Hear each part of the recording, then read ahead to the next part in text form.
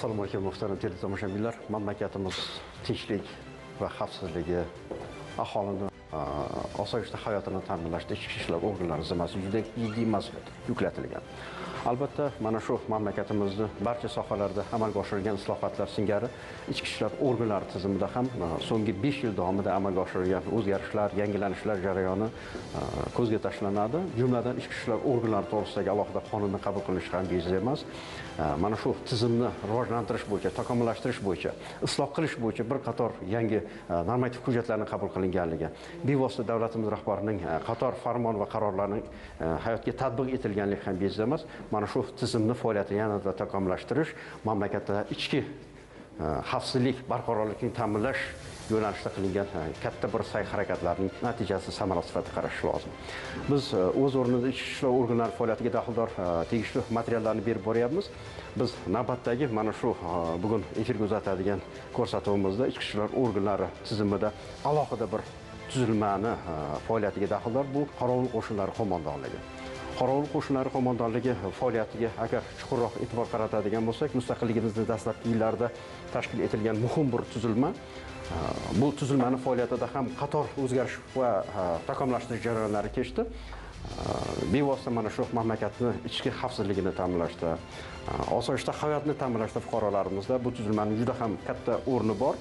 Biz mana shu e, nuqtai nazardan ushbu tuzilmani faoliyatiga kengroq batafsilroq to'xtalish maqsadida ichki ishlar vazirligi tizimidagi qorovul qo'shinlari qo'mondoni bilan suhbat qilib bevosita mana shu bir kunlik faoliyati mobaynida ushbu tuzilma faoliyatidagi e, kechayotgan jarayonlarni batafsil e, sizni e'tiboringizga havola qilishni maqsad qilganmiz. Kezi kelganda alohida aytib o'tish lozim.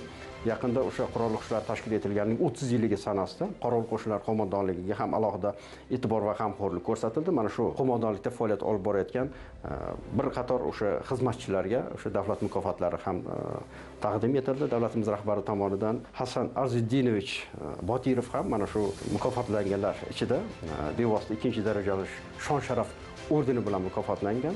Biz hasan arzidinovich bilan mana shu masalada umuman bu tuzilma faoliyatida kechayotgan jarayonlar haqida atroflicha kengroq bir ma'lumot berishni maqsad qilganmiz. Biz e, kishini qabulida bo'lib turibmiz assalomu alaykum. Hasan arzidinovich bezovta qildik E, o'zbekiston yigirma to'rt telekanalidan e, bezovta qilib turibmiz. Avvalambor tabriklaymiz ikkinchi darajali shon sharaf ordeni bilan Assalomu alaykum, xush kelibsiz. rahmat. Rahmat.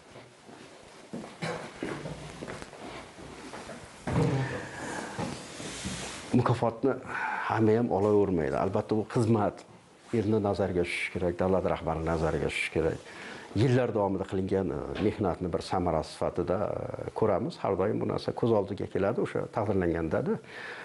Bir qator o'sha e, davlat xizmatchilari qatorida harbiylarimiz qatorida mana mamlakatimiz qurol kuchlari tashkil etilganining o'ttiz yilligi sanasida siz ham taqdirlandingiz. Ikkinchi darajali shon sharaf ordeni bilan davlatimiz rahbari tomonidan qanday qabul qildingiz mana shu taqdirlash jarayonlarini? Bu yerga kelgunga qadar ham sizni faoliyatingiz haqida qisman bir ma'lumot olishga harakat qildik. E, asosiy hayotingiz faoliyatingiz mana shu e, tizim ya'ni harbiy sohada mudofaa vazirligida milliy gvardiyada qolaversa mana shu ichki ishlar organlari tizimida kechgan ekan. Bu darajaga birdan erishmagansiz qurol qo'shinlar qo'mondoni bo'lish hammaga nasib qilavermaydi. Davlat mukofotiga sazovor bo'lish ham hammaga nasib qilavermaydi. Muhtaram prezidentimiz qurolli kuchlar oliy bosh qo'mondonini bizni kamtarona bir mehnatimizga e, bir e'tibor berib e, yuksak mukofot bilan bir taqdirlab e'tibor qaratganlariga rahmat aytmoqchiman. Shu mukofot e, juda o'rinli gap aytdingiz. Oddiy bir berib qo'yiladigan mukofotlardan biri emas. Davlat mukofoti ayniqsa ordenga sazovor bo'lish uchun inson balki butun umr xizmat qilishi kerakdir. E, meni xizmatdoshlarimda kollektivimda mana shu e, ichki ishlar tizimidagi jamoamda e, o'rnini beqiyos deb hisoblayman. Xizmatdoshlarim bilan birgalikda mana shu tizimdagi kasbdoshlarim bilan birgalikda bamaslahat mana shu qilinayotgan ishlarimda o'zlarini bir takliflari bilan maslahatlari bilan qatnashganlarini o'rni bor deb hisoblayman. Ichki ishlar tizimida faoliyat boshlaganman. To'qson to'rtinchi yil kursant lavozimidan boshlagan bo'lsam o'zimni ichki ishlardagi hayotimni xizmat faoliyati davomida o'n yildan oshiqroq shu sohada xizmat qilib keyinchalik xizmat taqozosi bilan boshqa tizimda ham xizmat qilishga to'g'ri keldi. U tizimlarda ham xizmat qilib mana shu harbiy sohadagi o'zimizni kasbiy mahoratimizni mustahkamladik harbiy sohadagi bilim ko'nikmalarimizni mustahkamladik. U tizimlarda ham xizmat qilib e, kollektivda o'zimizni imkoniyatlarimizni bilimlarimizni kengaytirishga imkoniyat bo'ldi. Taqdir taqozosi ekan deyman. И men bundan mamnunman. Mana aylanib davr vaqti bilan yana ichki ishlar vazirligi tizimida xizmat qilishga to'g'ri keldi. Xonangizda o'tiribmiz. Soatni chiq chiq etib har lahzani eslatib turganiga guvoh bo'lib turibmizda men e, vaqt nuqtai nazaridan aytmoqchiman. Mana har bir insonga bir kunda yigirma to'rt soat imkoniyat berilganda. Qay darajada foydalanib kelasiz? Umuman insonni bir yutuqqa erishishda ishida bir samara bo'lishida mana shu vaqtdan samarali foydalanish qay darajada ahamiyatli umuman hayotingizda bu masalaga sizda qanday yondashuv bor? Inson birdan bunaqa bir darajaga kelib qolmaydiku degan e, iborani ishlatdingiz men buni o'rinli deb bilaman.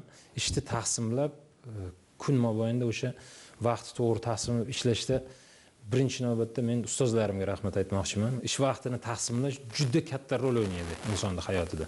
Men o'ylaymanki betartib ish bo'lgandan keyin biz o'zimizni maqsadimizni yo'qotamiz. Kun o'tar ekan kechga borib sarhisob qilib olsak bugun nima ish bilan shug'ullandim men? Bugungi o'tkazgan kunimizni samaradorligi qanchalik darajada muhimligini bilib olib ertangi kunimizni belgilaymiz. Albatta ish e, vaqt bilan taqsimlanib har bitta qilinadigan tadbirni o'zini vaqti bo'lgandan keyin e, qulayligi shunda bo'ladiki siz maqsad qilib qo'ygan bo'lsangiz kunni birinchi yarmida asosiy hujjatli ishlar bilan ishlab olish demak o'shani ulgurasizu. Tushlikdan keyin kunni ikkinchi yarmida amaliyotda shu qabul qilingan qarorlar qay darajada ijro bo'ladiganini borib ko'rishga bir imkoniyat bo'ladi. Vazifalarni belgilashda ham mutaxassislarni yo'nalish bo'yicha soha bo'yicha vazifalarni belgilashda ham bu qulaylik yaratadi. Agar kunni taqsimlamas ekanmiz taqsimsiz ishlar ekanmiz unda e, qo'l ostimizdagilar ham qachon nima bilan shug'ullanish kerakligini bilmaydi. Hozir mamlakatda kechayotgan jarayonlarga e'tibor qaratsak shiddat bilan amalga oshirilyapti yangicha standartda ishlayapmizda hozirgi kunda dunyo standarti deyapmiz. Mamlakatni o'zini taraqqiyotini shiddatiga mos qilib standartlar ishlab chiqilyaptida. Ichki ishlar tizimida ham nazarimda shunga moslab olinyapti. Chunki bir qadam oldin yuriladida. E, shiddat so'zini ishlatganda men birinchi navbatda namuna tarzda davlatimiz rahbarini e, olib borayotgan siyosatlari jarayonni e, o'zimga namuna qilib qo'yaman har doim. Aytishim kerakki biz muhtaram prezidentimizni belgilab qo'yib berib ketayotgan yo'llardan arang izma iz yetib borishga ulguryapmiz xolos. Agarki biz e, o'sha shijoat bilan shiddat bilan e, harakatlanishda agar biz yetishib ololsak men o'ylayman biz yana ham tezlashamiz. O'zimizni e, islohotimizni ham taraqqiyotimizni ham. Tizimimizda ichki ishlarda zamon talabiga javob beradigan bugungi davr talabidagi shiddat bilan ketayotgan bir davrda islohotlar o'tkazilishi qay darajada o'zini natijalarini ko'rsatyapti juda katta natijalarni ko'rsatyapti. Bu o'z o'rnida mana jinoyatchilik bilan e, kurashish jinoyatchilikni barvaqt oldini olishga qaratilgan tizimlar yaratilishi bugun juda keng imkoniyatlar beryapti xalqimizni xavfsizligini ta'minlashga. Har bitta bo'g'inda olib boriladigan faoliyatda asosiy e'tibor mana shu xalqimizni tinchligi uchun mutaxassislar o'z vazifasini bajarishiga qaratilyapti. Asosiy e'tibor quyi bo'g'inga berilyapti. Jinoyatchilik bilan kurashish jinoyatchilikni oldini olishga qaratilgan tizimlarda eng keng aytaylik targ'ib qilinadigan bu profilaktika sohasi bo'lsa kerak. Mana shu profilaktika nozirlarini ham imkoniyatlarini kengaytirilishi profilaktika noziri lavozimlariga aynan sohaga tegishli bo'lgan mutaxassislarni tayinlanishi va ularni o'z navbatida mahalla raisi bilan birgalikda olib boradigan faoliyat bugun shunga imkoniyat beryapti. Vaqt rejimi haqida yuqorida gaplashdik bo'yicha fikrlaringizni ham olishga harakat qildik. Bugungi kuningizda nimalar rejalashtirgansiz?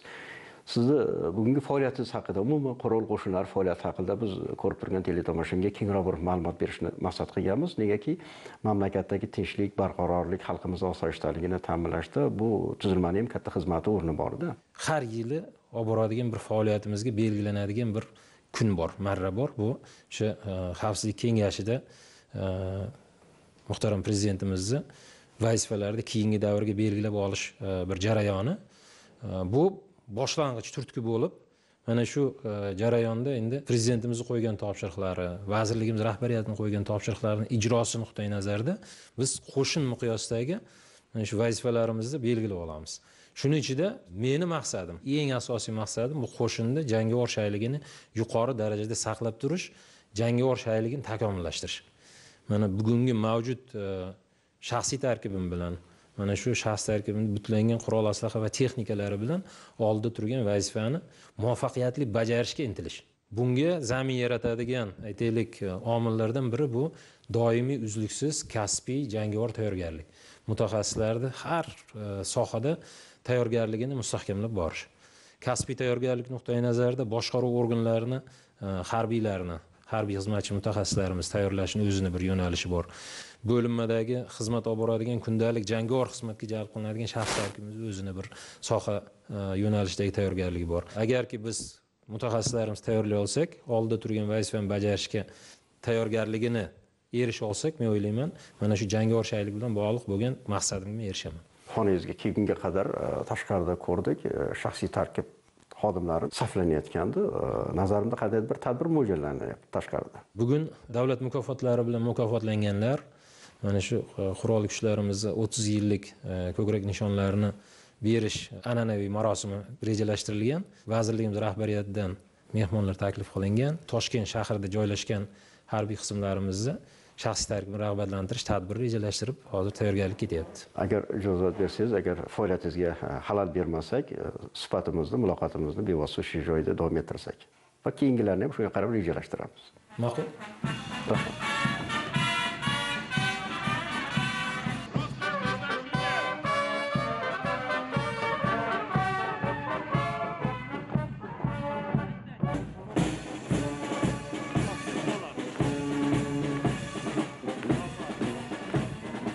qo'shinlari shu ichki ishlar vazirligi harbiy tuzilmalari tarkibida o'z faoliyatini olib borib avvalo mana shu jinoyatchilikni oldini olish barvaqt oldini olish jinoyatchilikni jilovlashga qaratilgan sohada o'sha e, yakuniy demak jazoni ijro etishda mahkumlar saqlanadigan koloniyalarda e, xavfsizlikni ta'minlashga qaratilgan faoliyat olib boradi. Shu bilan birga mana shu e, ichki ishlar tizimida jamoat tartibini saqlash xavfsizlik ta'minlash borasida ham bevosita jalb qilinib kundalik faoliyatda aholi punktlarida xavfsizlik ta'minlashga qaratilgan jarayonga ham e, bo'linmalari ajratiladi. Qorovul qo'shinlarini e, o'zida o'tkazilayotgan islohotlar bugungi kunda e, demak shtatlarda o'zgarishi bilan bog'liq. O'tgan davrdagi nuqson tarzda bo'lgan ayrim xizmatlarni faoliyati samarasiz bo'lib qolgani hisobiga yigirmanchi yili qorovul qo'shinlarida ham prezidentimizni qarorlari bilan o'zgarish kiritildi. Oldin faoliyatda aks etmagan bo'linmalar paydo bo'ldi. Bu bo'linmalar demak bevosita o'sha qo'riqlab borish vazifalarini bajarish bilan e, faoliyatini olib boradi. Bundan tashqari maxsus bo'linmalar tashkil qilindi. O'sha e, har qanday keskin o'zgariladigan vaziyatlarda e, zudlik bilan ta'sir ko'rsatish va mana shu sodir bo'lishi mumkin bo'lgan har qanday huquqbuzarlik jinoyatchiliklarni oldini olishga qaratilgan bo'linmalar ham tashkil qilindi.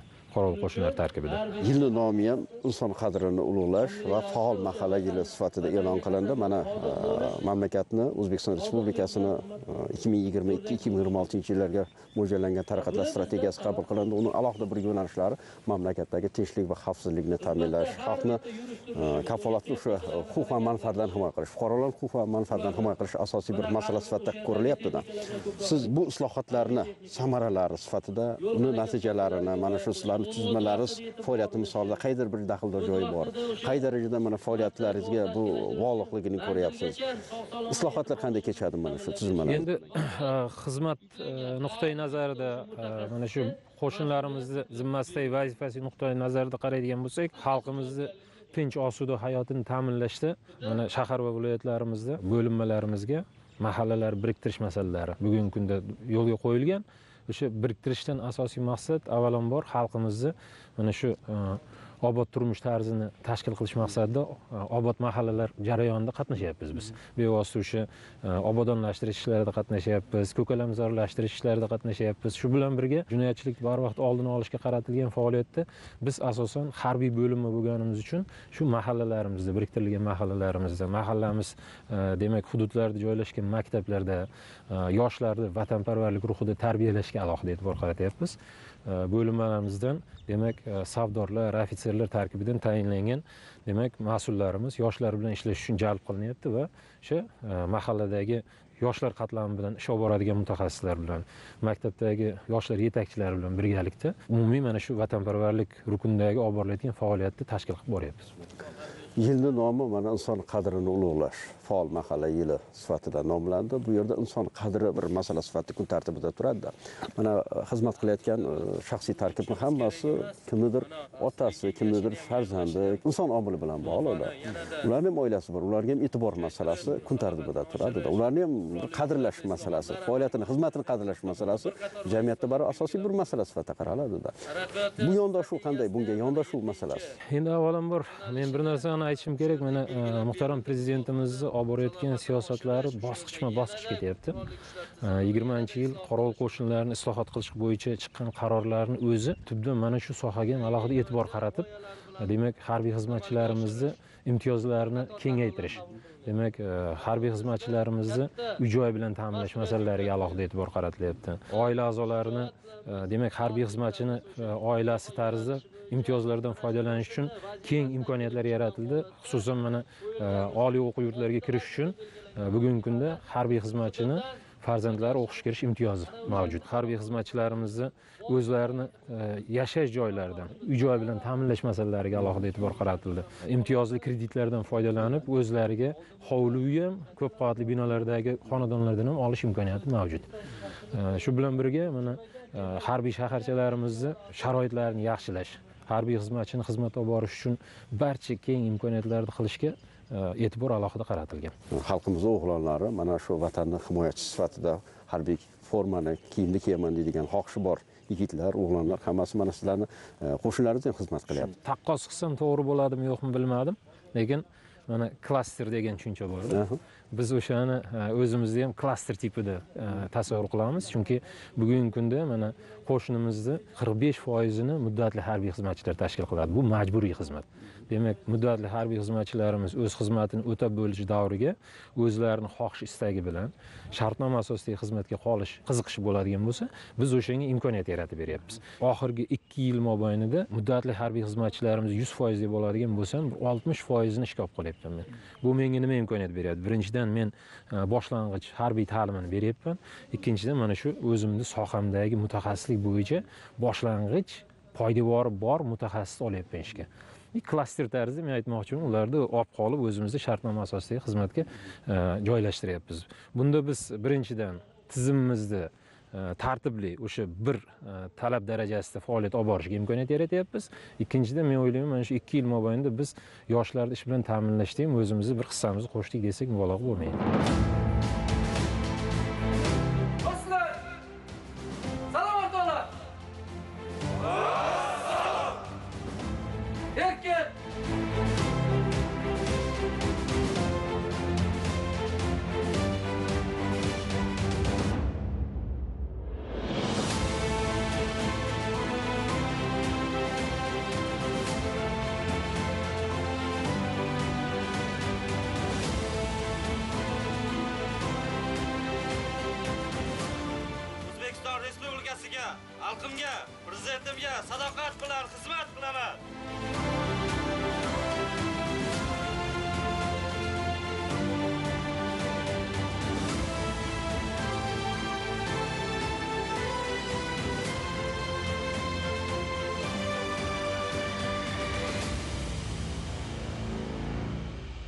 Shu tadbirni o'tkazish mobaynida taqdirlash marosimlari bo'lib o'tdi. Umuman rag'bat. Qay darajada zarur? Harbiy forma kiygan mana shu ishchilar tizimida ishlayotgan shaxsiy tarkib uchun sizningcha rag'batlantirish umuman o'zi bir e, yaxshi bir mezon. Insonni e, keyingi harakatlariga turtki bo'ladigan bir eng asosiy omillardan biri. Chunki inson o'zini faoliyatiga bahosini biladi.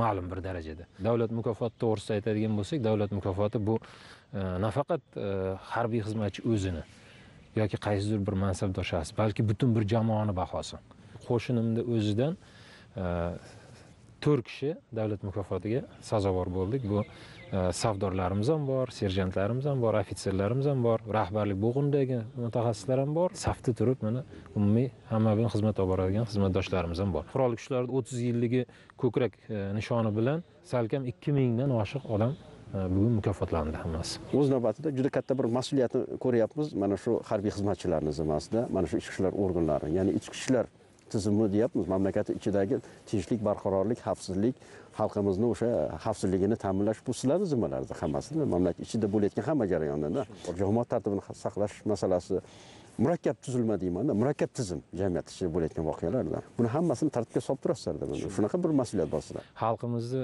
osuda hayoti uchun nima shart sharoit yaratilishi kerak bo'lsa har bittasi bugungi kunda izchil e, ishlab chiqilib rivojlantirib borilyapti. Yurtimizni tinchligi barqarorligi bugun kafolatlangan. Huquq tartibot organlarini yurtimizni tinchligini ta'minlaydigan tizimlarni takomillashtirilishi uni bugun zamon talabiga javob beradigan xalq bilan birga bo'ladigan xalqqa xizmat qiladigan qilib tizimni yaratilishini o'zi yana bir marta buni kafolatlab mustahkamlaydi. Bu forma kiyib yurgan bilan buni ortida qancha bir voqelik borda kunda bir o'zida ishlash o'qotar o'sha e, jangovar qurollardan e, mashq qilish jarayonlari bor.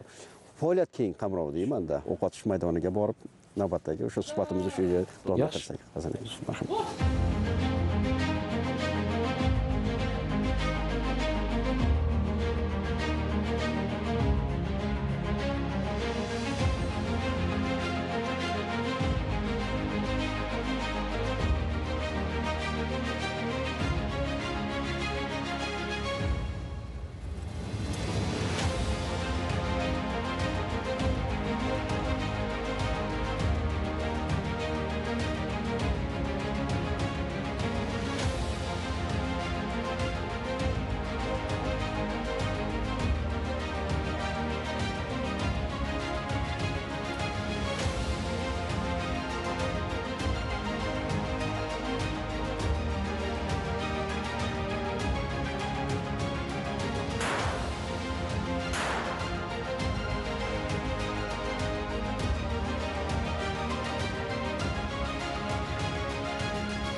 biz ko'rib turgan teletomoshabinga kengroq bir ma'lumot berishga harakat qilyapmiz. Faoliyatni olib borishda endi baribir e, harbiy texnikalar ham zarurda so'nggi paytlarda amalga oshirilgan islohotlarni samarasi sifatida mana shu jarayonga ham alohida e'tibor qaratilgani haqida boya gapirib o'tganmiz keling shu haqida bir kengroq to'xtalib o'tsak.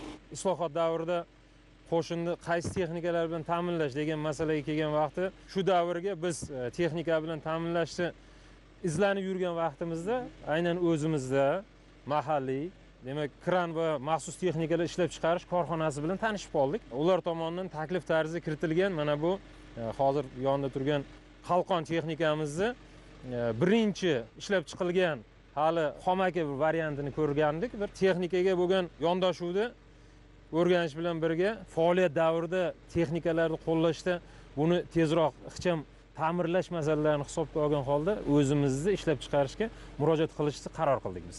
Э, krantaj ishlab chiqarish korxonasi bilan birga э, aynan mana shu qalqon texnikasini э, o'zimizga qorovul qo'shinlariga joriy qilishni maqsad qilib qo'ydik.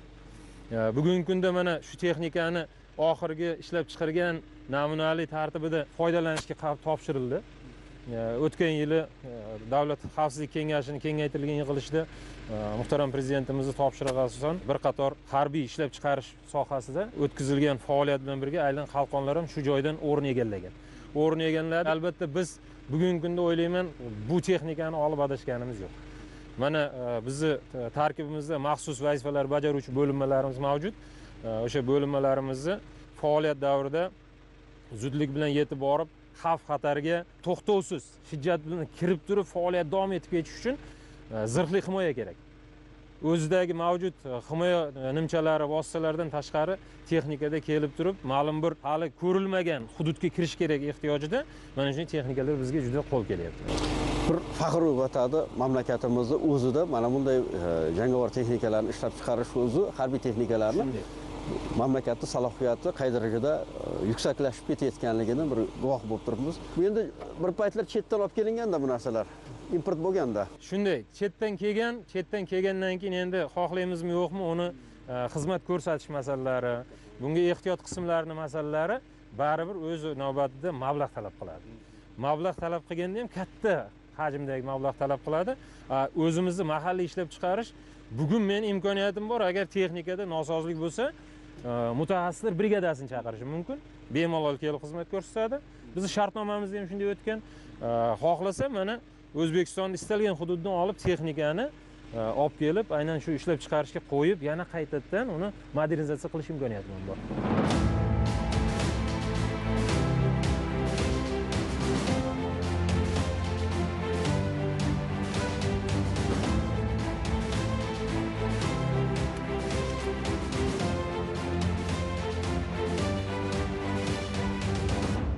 qo'shinlari faoliyati bilan tanishishga harakat qilyapmiz. Asosiy bir kundalik mashg'ulot shu jangovar qurollardan foydalanish bilan bog'liq shu mashg'ulotlarni o'tkazish haqida yuqorida aytib o'tdingizda. Keling bir jarayonlar bir kengroq bir to'xtalib o'tsak. Qurolli kuchlarimizda ham ichki ishlar tizimida ham e, xususan qorovul qo'shinlarida ham e, asosiy jangovar tayyorgarlik predmetlarimiz mavjud. Bu predmetlar hammasi asosan e, bo'linmani zimmasidagi vazifani muvaffaqiyatli bajarishga qaratilgan predmetlar. Xususan hozir bu yerda mana boya aytganimizdek o'q otish tayyorgarligi mashg'uloti jarayoni ketyapti bizni o'sha shtat birliklarimizda har xil bo'linmalar toifasi tarkibida mana maxsus bo'linmalarimiz ham mavjud bu to'g'risida ham bir eslab o'tdik ayni paytda hozir mana maxsus bo'linmamizni yaqin masofadan e, talafot yetkazuvchi o'q otar qurollardan e, foydalanish tartibi bo'yicha mashg'ulot ketyapti. Bu yerda o'sha o'zlarini zimmasidagi vazifani maxsus operatsiyalarda qatnashishda vazifani bajarish chog'ida e, qo'llash mumkin bo'lgan har xil turdagi qisqa masofadagi o'q otish bilan bajariladigan mashqlar o'rganilyapti. O'zlarini mana shu sohadagi ko'nikmalarini bilimlarini mustahkamlab borilyapti. Bo'linmalarimizni birinchidan butlanish tartibi ham oxirgi mana qurolli kuchlarimizga umumiy harbiy xizmatchilarga qo'yiladigan talablarga asoslangan holda olib borilyapti. Har bitta mutaxassisimiz o'sha yuqorida siz bilan gaplashdik. Muddatli harbiy xizmatni o'tab bo'lgandan keyin shartnoma asosida xizmatda xizmat o'tash istagini bildirdimi? Demak biz uni mana shu ishga olish xizmatga olish choralarini qilamiz va albatta bulardan ma'lum bir mutaxassis ko'nikmalari talab qilinadi. O'z navbatida boshlang'ich o'sha harbiy ta'lim bilan muddatli harbiy xizmatni o'tab bo'lib kelgan bo'lsa birinchi bir yillikda biz e, harbiy xizmatchini e, demak o'zini vazifasini bajara oladigan mutaxassis darajasiga olib chiqishimiz kerak. Albatta birinchi navbatda bu mana shu qo'shinlarimizdagi kundalik hozir ko'rib turgan faoliyat jangovar tayyorgarlik deymiz mana shu jarayonda bo'ladi. E, so'ngra mutaxassislarimizni kichik mutaxassislar tayyorlash markazlarida malaka oshirish markazlarida va o'zimizni mana shu dala o'q otish maydonlarida maxsus taktik o'quvlar o'tkazish jarayonida bilim ko'nikmalarini mustahkamlaymiz har doim aytadigan ziyraklik hushyorlik e, jangovar shaylik va o'ziga ishonch eng asosiysi o'zini vazifasini bajara olishiga ishonchni biz shakllantirishimiz kerak. Xalq va harbiylarni yaqinligi haqida yakdilligi haqida ko'p gapirilyapti endi harbiylar shu xalqni vakillarida xalqni o'g'lonlarida xalqni xavfsizligini xalqni tinchligini ta'minlashga birinchilar qatorida o'zini qalqon qiladigan labbay deb turadigan bu harbiylarimiz deb bilamiz. Har doim jarayon qanday kechyapti hozirgi kunda? Mana shu qorovul qo'shinlari shaxsiy tarkibini xalq bilan yaqinligini mana yuqorida eshitdik mahallalar bilan ishlayotganliginida bevosita o'sha mahallada tinchlik o'sha jamoat xavfsizligini ta'minlash tinchlik barqarorlikni ta'minlash qo'ldan kelgan o'sha yordamni o'sha mahallada yordam qilayotganlik haqida siz bilan fikrlashgandik. Armiyani xalq bilan birlashishiga yaratiladigan imkoniyatlardan asosi birinchi navbatda mana shu bizni harbiylarimizni yosh avlodni vatanparvarlik ruhida tarbiyalashga jalb qilinish bevosita mahallalarda yuqorida aytdik mana maktablarda uchrashuvlar uyushtirilishi harbiylarimizni yosh avlod bilan uchrashganda o'zini bir xizmat e, hayot faoliyatidan gapirib berishi ularni mana shu vatanga bo'lgan bir munosabati vatan xavfsizligiga bo'lgan munosabatini vatanparvarlik e, bir tuyg'usini shakllantirishda bir e, beqiyos o'rni bor deb hisoblayman. Mana ayni paytda bizni qorovul qo'shinlarimizni respublika bo'ylab taqsimlangan harbiy qismlari bo'lsa har bitta harbiy qismimizni bittadan ikkitadan biriktirilgan maktablari bor. Biz shu maktablar bilan ochiq eshiklar kuni o'tkazamiz.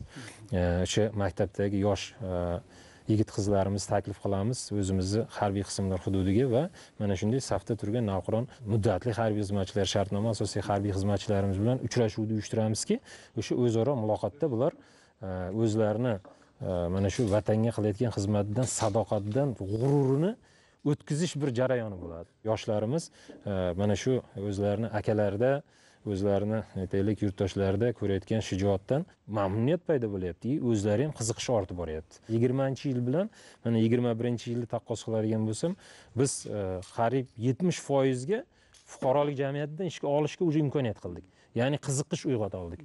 Bugungi kunda mana e, soni bilan kerak bo'lsa aytishim mumkin e, yigirmanchi yil men fuqarolik jamiyatidan yetti yuzga yaqin odam saralagan bo'lsam bu yil yigirma birinchi yil biz bir ming sakkiz yuz ellikta odamni saralashga muvaffaq bo'ldik. Shundan sog'lom raqobat bilan e, aytaylik o'zini imkoniyati bilan e, talabga javob bera oladigani bilan uch yuz to'rt yuzdan oshiq odamni biz ishga kirgiza oldik bugun bugungi ish reglamentingizda bevosita qurol qo'shinlariga biriktirilgan chilonzor tumanidagi mahalla ham ko'zda tutilganligini biz guvoh bo'ldik. Nazarimda navbatdagi muloqotimizni o'sha bevosita shu mahallada davom ettirsak agar ijozat bersangiz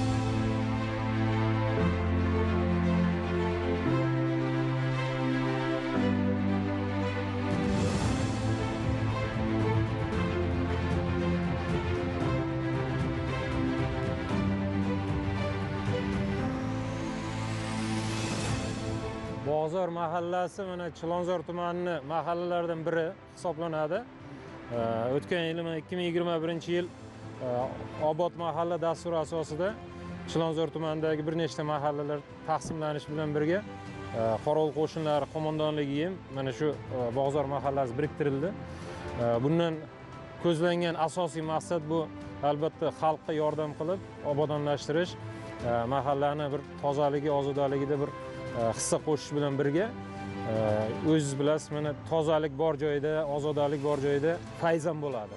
Fayz bor joyda mana e, insoniyatni bir biriga bo'lgan munosabati ham iliq bo'ladi. Shu mahallada obodonlashtirish bilan ish boshlagan bo'lsak birinchi kundan mahallani o'zimni tug'ilgan joyimdek bilib e, o'zimiz bilan birga kelib ishlaydigan mana xizmatdoshlarimiz harbiy xizmatchilar xodimlarimiz birgalikda shu yerda bir yoqadan bosh chiqarib shu mahallani o'zimizni tug'ilib o'sgan joydek bilib e, ish boshlaganmiz. Qariyb uch oy to'rt oyni ichida biz asosiy bu yerdagi muammoni chiqindilarga to'lib ketgan daraxtlarimizni e, pala parcha o'sib ketganligi joylarda aholini texnika qo'yishga imkoniyatlari cheklangan e, farzandlarimiz mana yosh bolalarimizga ajratilgan bolalar maydonchalarining yo'qligi juda katta muammolarni bu yerda e, keltirib chiqarib turibdi katta muammolar yig'ilganda mahallada juda ko'p narsalar shunaqa bir muammolar yechimini kutib turgan muammolar masalalar ko'p bo'lgan mana shunday. Shuni asosida mana yigirmataga yaqin sport maydonchalari tayyorladik.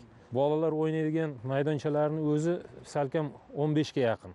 Bundan tashqari har bitta e, ko'p qavatli bino oldida Э, aholini texnikalarini qo'yishga qulay shart sharoit bo'lishi uchun avtoturargohlar qilindi. Suv ketish tizimlari juda bir e, eski ahvolda edi. Uni ham hammasi yangilash choralari qilindi. Mahalladagi obodonlashtirish bilan bog'liq bo'lgan masalalar sakson to'qson foizga hal qilingan desam e, bu mubolag'a bo'lmaydi. E, obodonlashtirish ishlarini olib borish jarayonida biz mahallani aholisi bilan nima deydi yaqin muloqotga kirishishga ham majbur bo'ldik ham bu imkoniyat berdi bular bilan bevosita muloqot qilishga. Shu yo'nalish bilan baravarda jinoyatchilikka qarshi kurashish masalalariga ham imkoniyat yaraldi xalqimizni mehnatsevarligi xalqimizni toza ozodalikka bo'lgan bir e'tibori e, hamisha yuqori baholangan. E, mana shu ish jarayonida biz ko'rdik. Haqiqatdan e, jamoaviy ishni tashkil qilgancha biroz boshida biz e, balki qaysidir to'siqlarga duch kelgan bo'lishimiz mumkin lekin bu inson omili bilan bog'liq emas. Bu o'sha texnikalar yo'qligi mana shu shu yerda yig'ilib qolgan chiqindilarni olib chiqishga bo'lgan vositalar yo'qligi shunga sabab bo'lib turganini guvohi bo'ldik chunki ish boshlanganda texnika bilan ta'minlashni boshladik. Mana shu chiqindilarni olib chiqish uchun imkoniyatlar paydo bo'lgandan keyin aholini o'zi ham qo'shilib biz bilan birgalikda mana shu tozalikka ozodalikka alohida bir e'tibor qaratishni boshladi. Yaqinda vazirimizni topshiriqlari bilan bu yerda endi jinoyatchilikni barvaqt oldini olish jinoyatchilikni e, profilaktika qilish borasida yana biriktirilib shu mahallada ish davom ettiryapmiz. Men kelib guvohi bo'ldim. O'sha tartibga keltirilgan tozalik ozodalik saqlanyapti hozir. Bu xalqimizni bugungi ozodalikka bo'lgan munosabat deb o'ylayman. Mahallani obodonlashtirish masalalarini tartibga soldik deb aytadigan bo'lsak qisman yana yakunlanishi kerak bo'lgan ishlar bevosita mahallani kommunal xizmatlari bilan bog'liq joylari bor. Bular hammasi dastur asosida bosqichma bosqich amalga oshirilyapti. Bu e, obodonlashtirish nuqtai nazaridan jinoyatchilikni barvaqt oldini olishga qaratilgan ishlardan yana bittasi hozir mana loyiha qilganmiz. Mana shu mahallada e, har bitta e, ko'p qavatli e, binolarimizni oldilarida kameralashtirish video kuzatuv moslamalarini o'rnatish va buni markazlashgan uchastka profilaktika noziriga integratsiya qilish o'sha joyga joriy qilib turib uchastka profilaktika noziri tomonidan demak be- bevosita butun bir jarayonni kechayu kunduz kuzatish imkoniyatini kengaytirish masalasi. Bu yaqinlikni ahamiyatini nimada ko'rasiz masalanda mana shunday bir hamkorlikni o'rnatilishi masalan mahalla bilan sizlarni tuzilmalaringiz o'rtasida yaqinlikni o'rnatilishini mahallani aholisi bilan muloqotda bo'lib e, bevosita ularni o'zidagi muammoni o'zidan eshitib uni yechimini birgalikda izlash bu men o'ylayman aynan insonni aytaylik bugungi kunda ehtiyojiga qaratilgan jarayon deb bo'ladi. Joydagi jinoyatga yaralaydigan bir zamin bo'ladigan bo'lsa muhit bo'ladigan bo'lsa uni aholini o'zi agar ko'taradigan bo'lsayu bizni profilaktika noziri e, bevosita muloqotda buni bilib turadigan bo'lsa demak u uni yechimini ham shu aholi orqali hal qilish choralarini ko'radi. Demak e, xalqimiz befarq bo'lmaydi.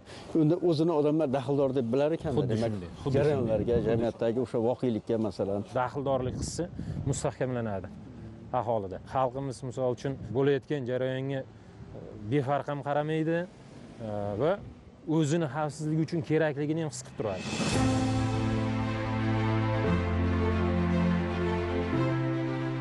E'tibor bergan joyingizga odamlar e'tibor qaratishni boshlaydida. E, bevosita mana shu e, maktabgacha ta'lim muassasasini e, rahbariyat tomonidan ham e'tibor qaratilib bir milliarddan oshiqroq pul ajratildi mana shu ikkita bog'chaga. Va bugungi kunda mana o'zingiz ko'rayotgan e, qo'shimcha ta'mirlash ishlari amalga oshirilyapti. E, albatta bu o'z navbatida e, aholimizni farzandlariga keng imkoniyatlar yaratilishidan bir darak. Yilni nomini ham boya eslab o'tdik. Inson qadrini ulug'lash faol mahalla yili deb endi hamma narsa markazda inson turibdi. Shu insonni hayotini yaxshi qilish qulay sharoit yaratib berish muammolari bo'lsa muammolarni yechish konstitutsiyada berilgan qonunlarda belgilangan o'sha kafolatlangan huquqlarini manfaatlarini hayotda tatbiq etib odamlar bugungi kunda hayotida ko'rishni istayaptida. O'sha qog'ozdagi bor narsani qonunlarda bor narsanida. Mahallalarga biriktirilganligi ichki ishlar vazirligini mana tuzilmalarini ularni hayotida dunyo nafaqat dunyoqarashida bevosita hayotida bir yangi bir o'zgarishlar olib kelayotganligiga bir sabab bo'layotganligiga guvoh bo'lyapmizda. Jamiyatda mana shunday odamlarni uyg'otishda yana ham bir faol bo'lishda obodlik nuqtai nazaridan e, o'rni beqiyos bo'lsa kerak davlat xizmatchilari bilan xalqni yaqinligi mana bunday hamkorlikni o'rnatilishi. Mahallada ishlash jarayonida e, hali yuqorida ham aytganimdek aholi bilan muloqotda paytingiz e, birlamchi ish boshlaganimizda fikr mulohaza boshqa bo'lgan bo'lsa mana shu mahallani obodonlashtirish tozaligiga kelib hali aytganimdek mana shu yerda tug'ilib o'sgan insonday o'zingni mehringni berib ish boshlagandan keyin xohlaysan xohlamaysan xalqimizda ham fikr mulohazasi o'zgaradi. O'z o'zidan bu obodonlashtirish masalalari bizni tinchligimizga tegishli bo'lgan omillardan bir qismigina xolosdir. Lekin shu ham bir zamin yaratib insonlarda bir biriga bo'lgan munosabat. Ayniqsa aholimizni ichki ishlar tizimiga huquq tartibot organlariga bo'lgan munosabatlarni iliqligi oshishiga bir sabab bo'ldi. O'z o'rnida agar e, biz mana shu yerda obodonlashtirish bilan bog'liq ishlarni boshlagan bo'lsak keyingi davrda mana jinoyatchilikni oldini olishga qaratilgan ishlar olib borayotgan bo'lsak e, aholini mana shu mahalladagi tinchlikka bo'lgan munosabati ham e, tubdan уже o'zgargan. Shu yerda bir bironta bir aytaylik bu yerga tegishli bo'lmagan fuqaromiz paydo bo'lib qolsa ham mahallani odam emasligini bila turib bu to'g'risida xabar ham beryapti. Kerak bo'lsa agar qandaydir bir holatlar sodir bo'lib sabablarini o'rganishda kimlar bo'lgani haqida ma'lumot olish kerak bo'ladigan bo'lsa bugun mahalla fuqarolari ham bu ma'lumotni berishga tayyor. Endi ko'ngilda yana bir gap chiqadida. Jinoyatni yoki qonunbuzarlikni topib uni jazolagandan ko'ra unga bir chora ko'rgandan ko'ra o'sha fuqaroga nisbatan deymanda. O'sha jinoyatni sodir bo'lmaslik oldini olish masalasi turibdida. Odamlarda o'sha qonunlarga bo'lgan hurmatni uyg'otish yana ham kuchliroq. Oilalar bor masalan har xil oila bor. Besh qo'l barobar emas shu oiladagi notinch oilalarni topib ular bilan profilaktika qilib borish masalanda. Qo'ldan kelsa yordam qilish. Mana siz ham baribir huquqni muhofaza qilish idoralari bu yerda juda yam asqotadigan joyi nazarimda. Sizlar bevosita shu jarayonlar bilan ishlaysizlarda bu. Bo'yicha menimcha bu hamkorlik o'rnatilib masalanda oilalar o'rganilsa kerak bu yerda har- bir mahalladagi. Bevosita faollarni olib boradigan e, ish jarayoni mavjud. O'sha siz aytgandek e, aholini oilalaridagi e, muhit qanaqa oilalardagi o'zaro munosabatlar qanaqa mabodo bunaqangi janjal bilan bog'liq holat kelib chiqadigan bo'lsa nima sabab bo'lyapti buni o'rganishga mana bugungi kunda imkoniyatlar kengayapti bu avvalambor mahallani raisi mahalla raisimizni faoliyatini tashkil qilishda unga yordam beradigan mana yaqinda joriy qilingan hokimlarimizni mahalla bo'yicha yordamchilari profilaktika nozirlarini jamoat tartibini saqlash bo'yicha yordamchilari bular hammasi mana shu jarayonda umumiy mahallani bir mahalla tarzida emas mahallani umumiy shu yerda bir joylashgan aholisini oilaviy qatlamlarini ham o'rganishga bir imkoniyatlari kengaygan.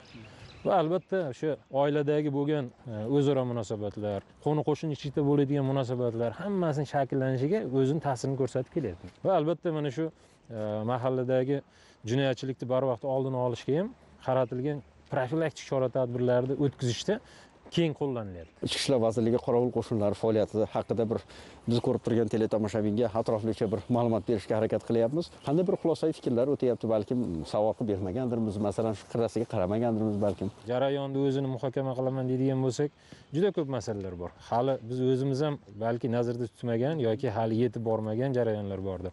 Lekin nima bo'lishidan qat'iy nazar e, biz bir narsani bugun yaxshi bilib turibmiz hammamiz xalq bilan muloqotni qancha yaqinlashtirsak qancha biz mana shu xalqqa xizmat qiladigan tizimni xalq bilan bog'lay olsak e, men o'ylaymanki mana shu maqsadimizni pirovardida turgan e, muhtaram prezidentimizni e, asl boshlang'ich g'oyalari bilan bog'liq bo'lgan yurt tinchligini ta'minlash tamoyillari o'zini mevasini beradi.